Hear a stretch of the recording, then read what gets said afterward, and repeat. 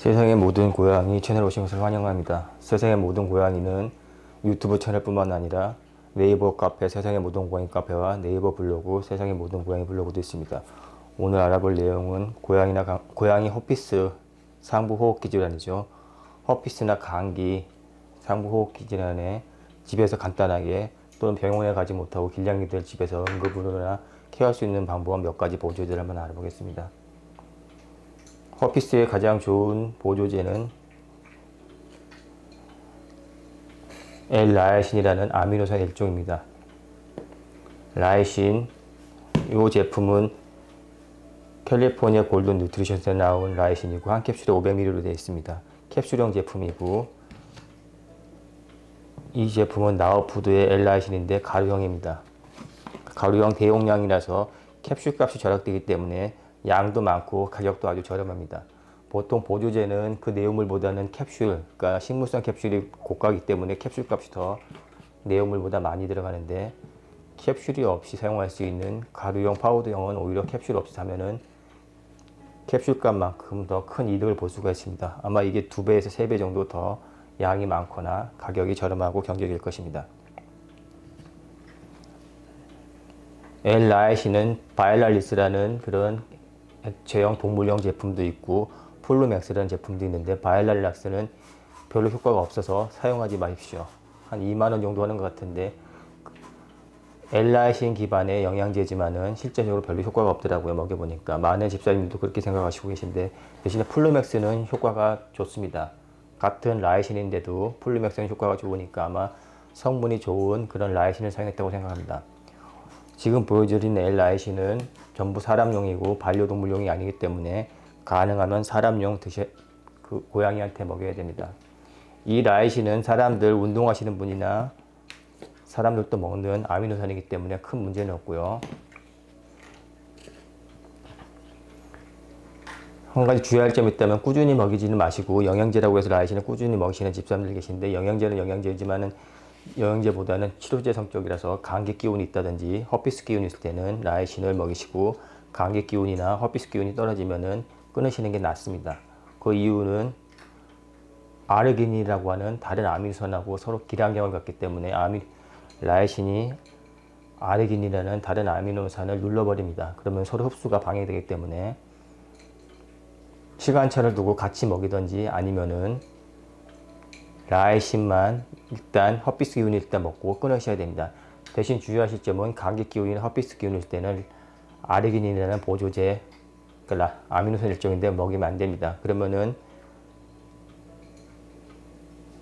herpes 바이러스가 아르기닌을 먹고 힘을 내서 자라기 때문에 herpes나 감기 기운, 상부호흡기 질환 치료하기가 어려워집니다. 라이신으로다가 herpes 바이러스를 치료하는 원인이 herpes의 먹이가 되는 아르기닌이라는 다른 아미노산을 눌러서 길항작용으로 눌러갖고 herpes 굶겨 죽이는 작용을 하는 거기 때문에 그 원리대로 하기 때문에 라이신 먹일 때는 꼭 아르기닌을 급여하지 마시고 일정 기간 후에 herpes가 나은 다음에 그때 먹으셔야 됩니다. 그 다음은 항생제인데 액트클라브라는 항생제입니다. 약국에서 구할 수 있는 거고요. 500알 들어있고, 아니, 어, 100알 들어있고요. 보통 약 한 알에서 세 알 정도 먹입니다. 악갱이들은 한 알, 좀 중간짜리는 두 알, 덩치 큰 애들은 세 알인데 분홍색으로 되어 있고 그냥 먹이셔도 됩니다. 보통 우리는 가루를 내서 캔에 섞어주는데 색은 있는데 맛이 무치 무맛이라서 고양이들이 거의 대부분 먹습니다. 열의 아홉은 이 액트클라브라는 항생제를 먹습니다. 아목시실린과 콜라브런스라는 두 가지 제품이 들어있는 항생제입니다.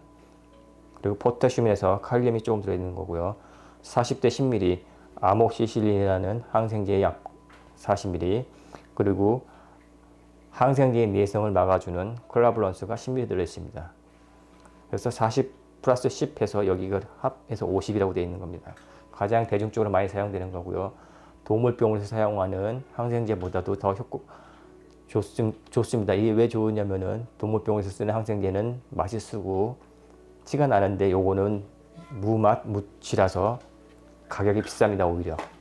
그래서 좀 더 고급형 항생제에 속하는 겁니다. 고양이 열의 아홉은 먹고 한두 마리는 예민해서 안 먹는데 쓰지는 않으니까 거의 다 먹습니다. 보통 우리 5kg짜리 고양이 두, 두 알 까서 주고요. 제일 좋은 건 하루에 두 번 나눠서 주는데 길냥이나 고양이들 한 번에 나눠서 주기가 어렵기 때문에 그냥 한 번에 다 줍니다. 그리고 추가적으로 면역을 올려주는 게 중요하니까 타우린 있으면 타우린 먹이시면 좋고요. 락토페린 있으면 락토페린도 주시면 좋습니다. 같이. 그리고 베타시토스테롤이라는 영양제인데 면역을 좋게 해줍니다. 그래서 셋 다 같이 주시면 좋고 아니면 한 개라도 주시면 면역을 올려주기 때문에 herpes를 눌러주고 항생제로 치료해주고 면역을 올려주는 그런 내용들입니다. 아연도 감기에 좋습니다. 사람들도 아연 소량 먹어주시면은 보통 성인이 사람은 경우 20에서 30ml 정도, 좀 많을 때 50ml 정도 먹는데 고양이와 강아지 2, 3ml 정도 하루에 먹여주면 되고요. 치료 목적으로 먹인다면 한 5ml 정도까지 며칠 먹여주시면 상관없습니다. 주의할 점은 무기질은 꼭 용량을 지켜주셔야 되고요. 근데 이제 치료 목적으로 먹이신다면 5ml 정도 며칠 먹는 건 큰 문제 없습니다. 한 캡슐에 50ml짜리라서 사람 같은 경우는 하루에 2, 30ml니까 조금 많은 양인데 보통 성인들 이거 먹는 사람도 있습니다. 그래서 고양이 같으면은 20마리가 먹을 수 있습니다. 하루에 2, 3ml씩 하면 이 캡슐을 20분의 1로 나눠주면 되고요. 실험 목적이라면 좀 더 많이 주시는 게 낫습니다. 감기나 그럴 때 뭐 한 달, 두 달 먹는 게 아니라 뭐 일주일 열흘밖에 안 먹기 때문에 한 5ml 정도씩 열흘 같이 섞어주시면은 감기에 굉장히 도움이 많이 되는 게 아이언이고요. 또 아이언은 면역도 올려주고 중요한 면역 기능을 하는 무기질 미네랄입니다. 신체에서 한 200여 가지 작용을 합니다. 타우린은 다 아시는 간에도 좋고 뇌에도 좋고 심장에도 좋고 면역을 올려주는 고양이 비타민이고 고양이 집사님들은 대부분 락토페린 하시고 요즘 구내염 치료하시는 고양이 집사님들은 베타시토스테롤 퓨어사 제품 거다 아실 겁니다. 있으면 다 주시면 좋고 없을 때는 있는 대로 주시면 좋고요. 제일 중요한 거는 L-라이신을 꼭 주셔야 되고요. 보통 500ml 하루에 500에서 1g 정도까지 먹습니다. 한 500ml 정도 넣어주고 아까 갈아 놓은 액트클라브 항생제, 아목시실린 항생제 가장 대중적인 항생제입니다. 무치 무맛이라서 대부분의 고양이가 먹습니다. 섞어주시고 아연 10분의 1이나 20분의 1 정도 치료 목적이니까 10분의 1 정도도 괜찮습니다. 조금 많지만은 꾸준히 먹이는 게 아니기 때문에 그리고 저희는 락토페린을 오늘 하나 까서 영향력을 면역을 올려주겠습니다. 타우린 있으시면은 타우린도 넣어주시면 좋고요.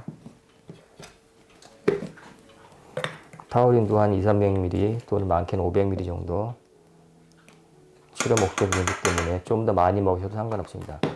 장, 장복을 하는 게 고용량 장복이 아니기 때문에 조금 치료 목적으로는 짧게 먹이기 때문에 조금 양을 늘려셔도 되고요. 캔에다가 섞어줘야지 먹겠죠.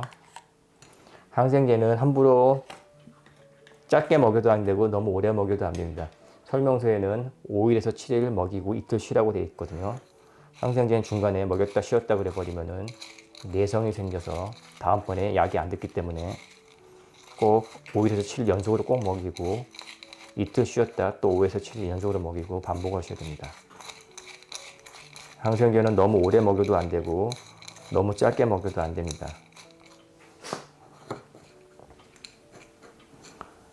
MSN 같은 거 있어서 섞어주면은 기운 내줘도 좋은데 이미 MSN 섞어놨습니다 여기다가. 근데 빌, 빌량이들은 다 먹일 수 없기 때문에 보통 먹이신다면 라이신 하나 선택하시고 항생제 그리고 면역에 좋은 것들 중에서 한두 개 정도 첨가해 주시면 좋습니다. 다 넣어주시면 좋은데 다 구하기 어려울 수 있을 경우는 한두 개라도 넣으시면 좋습니다. 그래서 오늘 이렇게가 고양이 허피스에 좋은 감기에 좋은 그런 보조제 집에서 쉽게 집사님도 할 수 있는 그런 보조제입니다.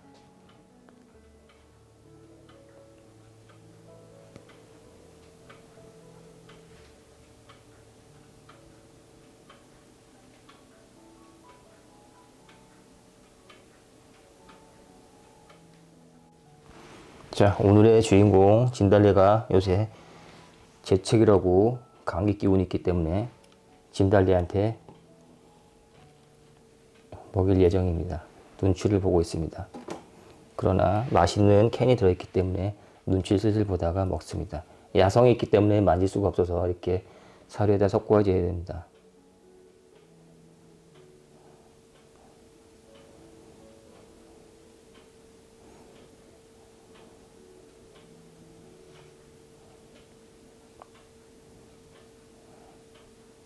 올해 11살, 12살 된 2009년도부터 길에서 살아온 진달래 카오스 암컷이고요. 이름은 진달래.